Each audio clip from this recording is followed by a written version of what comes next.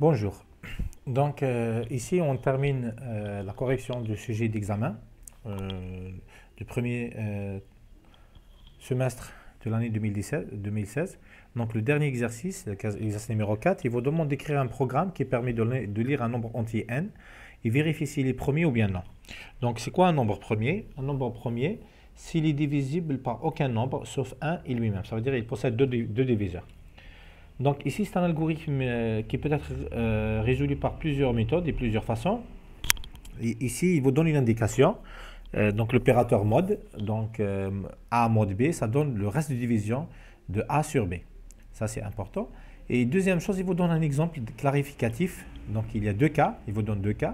Un cas d'un nombre premier et un cas qui n'est pas premier. Et réellement, ici, dans cet exemple, il vous donne aussi à peu près l'algorithme qu'il faut suivre. Donc ici, euh, vous prenez n égale à 13. Donc qu'est-ce qu'on fait? On commence par 2. Les diviseurs commencent par 2. Euh, on ne prend pas le 1 bien sûr. Il commence par 2. Il va diviser 13 par... Euh, il va diviser... Il va chercher le reste de division 13 par 2. Il trouve 1. Donc, donc 1, il est, différent de 0. Ça veut dire qu'il n'est pas divisible. On continue alors. 13 mode 3, il est 1. Donc il n'est pas divisible. Et ainsi de suite. 13 mode 4, 1. 1 13 mode 5 égale à 3. Euh, quoi aussi? 13 mode 6 égale à 1. Et ici, on arrête. Donc, attention, il a arrêté pour 6. Pourquoi il n'a pas fait 13 mode 7 et Directement, il a arrêté les, modes, les différents modes, donc les opérations de mode. Donc, il a fait 2, 3, 4, 5, 6. Après, il s'est arrêté et il a déduit qu'il, euh, puisqu'on n'a jamais trouvé de R égale à 0, du modulo égal à 0, tous les modulos sont, euh, sont différents de 0. Donc, il, a trouvé 1, il a trouvé ici 1 ici. Euh, la même chose ici, il a trouvé 1. Ensuite, il a trouvé 3 par rapport à 5. Donc, il a déduit quoi? Il a déduit que 13, il est premier. Effectivement, 13, il est premier. Mais on doit comprendre pourquoi il s'est arrêté à 7. Donc, pour bien comprendre pourquoi il s'est arrêté à 7, on va aller au 25. 25 moins 2 égale à 0, égale à 1, pardon. 25 euh, mode 3 égale à 1. 27 mode 4 égale à 1. Par contre, 25 mode 5 égale à 0. Pourquoi? Puisque 25 sur 5 égale à 5 et le reste c'est 0. Dans ce cas, on arrête. C'est pas peine qu'il continue. Euh, on arrête et alors 25 n'est pas premier. Donc, le problème ici, nous avons deux cas le cas où on trouve un reste qui est égal à 0, dans ce cas, on doit s'arrêter. Dès que vous trouvez un reste qui est égal à 0, il faut s'arrêter. Très bien. Et par contre, si on ne trouve pas R, euh, égal à 0, on doit continuer le mode, le mode sur le nombre prochain. Donc ça, c'est en quelque sorte, c'est les diviseurs. Donc nous on commence par 2, ensuite 3, ensuite 4. Et, ça, c'est les restes diviseurs. Donc il y a deux cas. Soit on arrête lorsqu'on trouve R égale à 0, et dans le cas où on trouve aucun R égale à 0, comme le cas de 13, on doit s'arrêter à un certain nombre. C'est quoi ce nombre-là? Réellement, ça c'est le diviseur euh, qui, est, euh, qui est le plus petit que le nombre lui-même. Donc 13, si on prend 13, euh, tous ces diviseurs sont entre 1 et 13 div 2.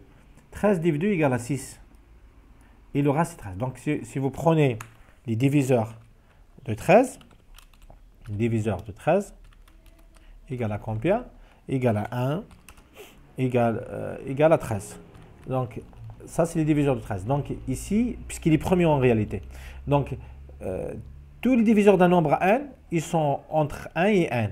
Mais les autres, les diviseurs propres, l'ensemble des diviseurs propres, elle est entre 2 et nombre, euh, nombre sur 2. On prend le 6. Le 6, les diviseurs de 6, pour que, pour que ça devienne plus clair, nous devons 2, 3, par la suite 6.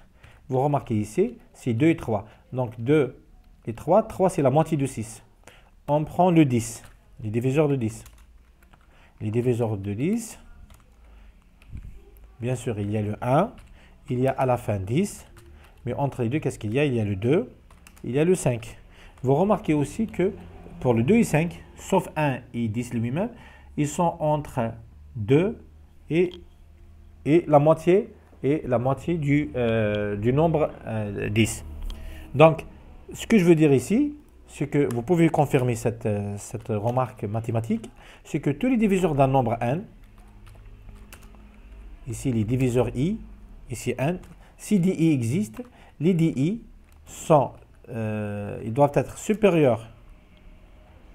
Ils doivent vérifier cette, cette inéquation supérieure ou égale à 2, les DI, et inférieur ou égal à n div 2. Pourquoi div? Puisque c'est la moitié de n, donc si n est pair, donc ça sera une division parfaite, division normale. Ça sera impair, c'est la division euh, entière. Donc le 13, il est impair, donc 13 div 6 égale à 2, égale 13 euh, div 2 est égal à 6. C'est pour ça qu'il s'est arrêté à 6. Pourquoi? Puisque 13 div 2 égale à 6. Donc j'espère que c'est clair. Donc ici, comment faire l'algorithme? Donc, toujours euh, au niveau de la solution algorithmique, euh, on cherche la solution, euh, on cherche les entrées, les sorties, etc. Donc ici, les entrées, c'est quoi? Les entrées, c'est n. On donne n. Et les sorties, c'est quoi? Sortie, c'est l'un des messages. Donc c'est un message. Euh, c'est un message parmi les deux messages suivants. Soit n est premier, ou bien n n'est pas premier. Voilà. Donc, c'est l'un des deux messages suivants. Donc ça, c'est les entrées-sorties. Maintenant, la partie traitement. Je vais me concentrer à faire la partie traitement sur le brouillon. Par la suite, donc je vais, je vais me contenter à faire la, solution algorithmique, euh, algorithmique sur le brouillon. Par la suite, on va traduire ça en programme Pascal, puisqu'il a demandé de faire un programme Pascal. Donc, c'est quoi l'idée ici? L'idée ici, c'est que euh, on doit chercher les restes division. On peut faire la boucle et répite.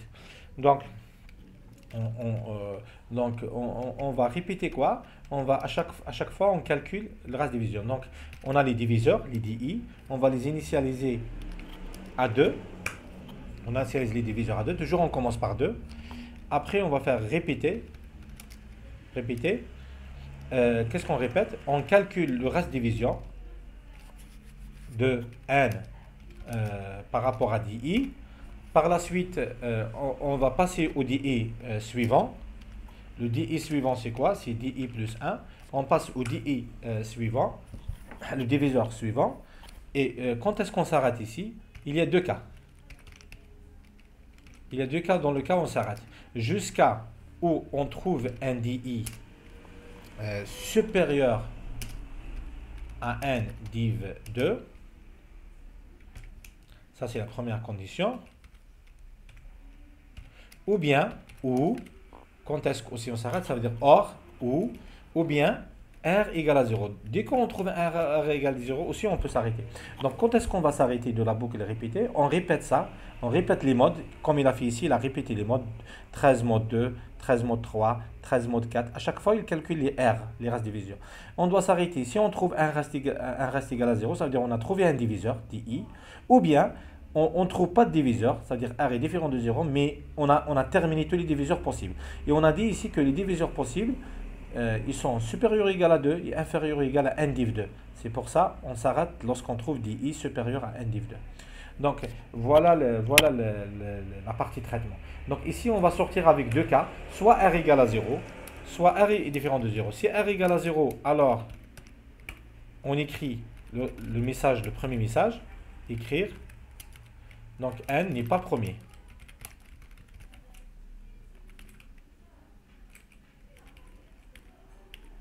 Sinon, on va faire écrire n est premier. Pardon, j'ai fait une erreur ici. Voilà, la conjugaison du verbe être. Donc ici, c'est n est premier. Donc voilà la partie traitement. Donc qu'est-ce qu'on va faire? Avec cette analyse-là, on a analysé que les diviseurs propres d'un nombre sont toujours entre 2 et n div 2 et on a compris quelles sont les variables d'entrée et qu'est-ce qu'il faut afficher à la fin de l'algorithme à la fin du programme. On a fait un pseudo-algorithme, c'est la partie traitement. On va regrouper tout ça dans un programme. Donc je vais lancer Borland Pascal et on va écrire l'algorithme sur Borland Pascal pour pouvoir le tester. Voilà, on va traduire tout ça en Borland Pascal. Je vais créer un nouveau programme. Donc ça, c'est le programme par défaut qui s'affiche. donc. Donc je vais faire la structure minimale. Donc programme XO4, c'est l'XO de l'exercice. Begin et end point. Ça, c'est la, euh, la structure minimale. Je peux compiler s'il n'y a pas d'erreur. Donc j'ajoute useSwing CRT. Pour useSwing CRT, elle n'est pas importante pour la compilation, mais elle est importante pour l'exécution. Win CRT. Et la partie variable, qu'est-ce que nous avons dit? Ici, on a n, variable d'entrée, c'est entier bien sûr. Nous avons les DI, les diviseurs, et nous avons le reste division. Tout ça, c'est entier, intégral. Donc n, c'est le nombre que nous devons saisir. Euh, DI, c'est l'ensemble des diviseurs qui vont, aller de, qui, vont, qui vont parcourir tout le nombre de D jusqu'à n div 2. Et R, euh, c'est le, le, euh, le reste division qu'on calcule à chaque fois. Donc ici, on va faire un message, donner une valeur entière n.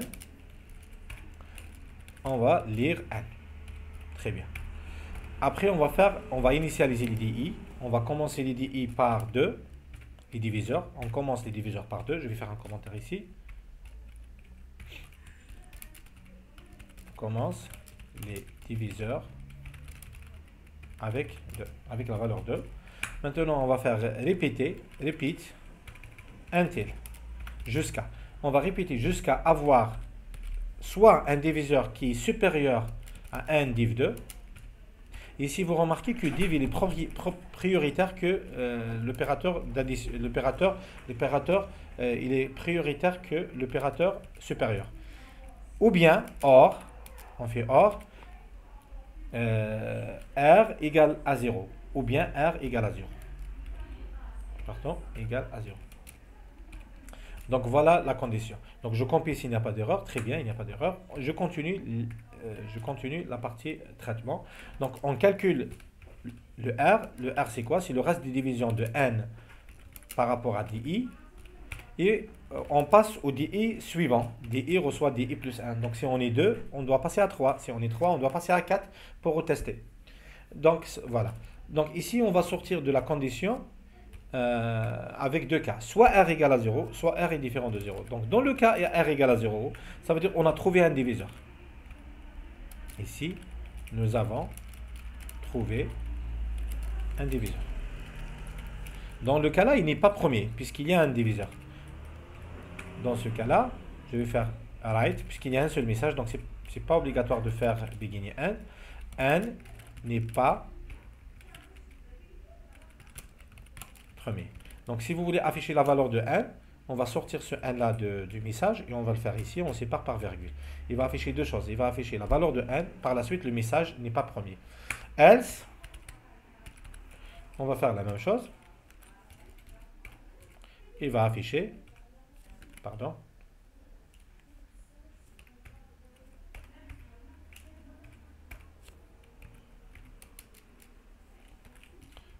il va afficher n est premier il va afficher la valeur de n, ensuite le message est premier. C'est pour ça que j'ai laissé un espace vide ici, pour séparer entre la valeur et...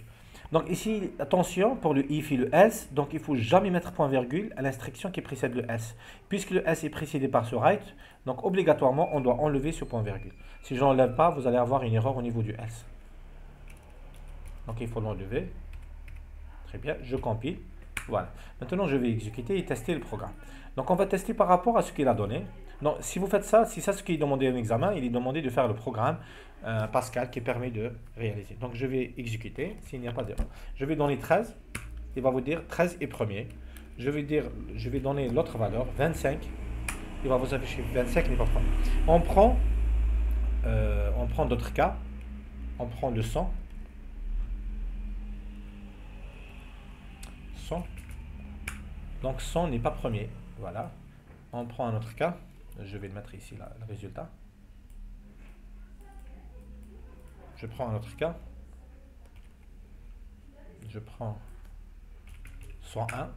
101 est premier. Voilà, j'espère bien que vous avez compris. Voilà les différentes exécutions du programme. Donc, réellement, c'est ça l'idée. L'idée, s'arrêter aux diviseurs euh, qui sont supérieurs à 1 div 2, et, ou bien, ou s'arrêter à R égale 0. Donc ici, on a utilisé la boucle repeat, ou bien vous pouvez utiliser la boucle while, etc. etc. Donc j'espère bien que vous avez compris. S'il n'y a pas, euh, s'il n'y a pas de, s'il y a des questions et des remarques, si vous n'avez pas bien compris la question, vous posez les questions, vous n'hésitez pas à vous laisser vos commentaires. Euh, bon courage et travaillez bien.